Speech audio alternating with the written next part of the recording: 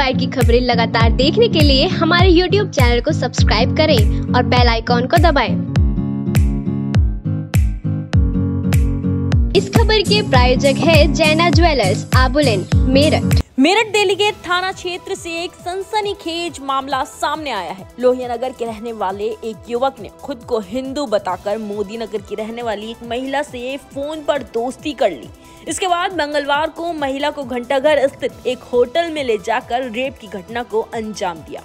आरोपी की असलियत खुलने पर पीड़िता ने दहली गेट थाने में उसके खिलाफ रिपोर्ट दर्ज कराई है। दरअसल मोदी नगर निवासी हिंदू विवाहिता के मुताबिक, लगभग एक महीने पहले उसके मोबाइल पर एक मिस्ड कॉल आई थी। नंबर पर कॉल करने पर सामने वाले व्यक्ति ने अपना नाम पवन बताया। इसके बाद महिला की पवन से बातचीत शुरू हो गई। पवन ने बताया कि वह मेरठ के लोहिया नगर में रहता है। पीड़िता के हवाले से धीरे धीरे पवन ने उसे अपनी बातों में फंसाया और फिर मंगलवार को आरोपी ने महिला को घंटा घर स्थित होटल में मिलने के लिए बुलाया था।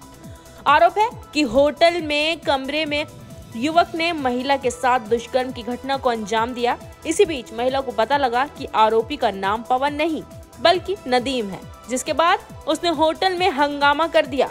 मामला बिगड़ता देख आरोपी होटल से फरार हो गया। इसके बाद पीड़िता थाने पहुँची और आरोपी के खिलाफ दुष्कर्म की रिपोर्ट दर्ज कराई, जिस पर कार्रवाई करते हुए पुलिस ने आरोपी को गिरफ़्तार कर लिया। इस खबर में फ़िलहाल इतना ही। आप देखते रहिए फ़र्स्ट बाइट डॉट टीवी